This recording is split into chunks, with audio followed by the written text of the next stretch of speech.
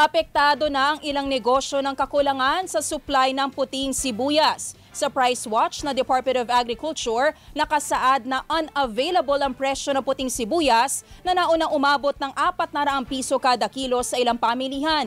Nagabiso na rin po ang ilang o isang kilalang burger chain na apektado na sila ng kakulangan sa supply ng puting sibuyas. Sa panayam ng teleradyo, kinumpirma naman ni Hernan Andres ng Bongabo Nueva Ecija Union Farmers Association na kulang na ang supply na puting sibuyas sa bansa. Problema rin anya ng mga magsasaka ang mataas na presyo ng fertilizer kaya dapat magbigay ng tulong ang pamahalaan.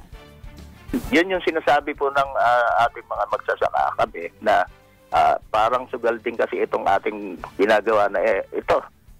Yan po. Pagka kulang yung sibuyas, siyempre, uh, mag-aagawa ng buyer, edi tatas yung produkto na, na natin ng sibuyas. Pero sa totoo, kailangan natin ng uh, tulong ng gobyerno.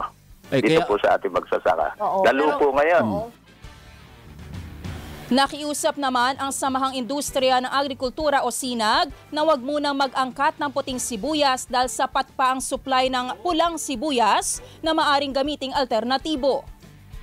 Sinadjust din natin kung pwede ba yung pula sabi nila mas prefer nila yung puti and tinanong natin is kung pwede silang as a group uh, magpasok. Mukhang kailangan nila ng consolidator.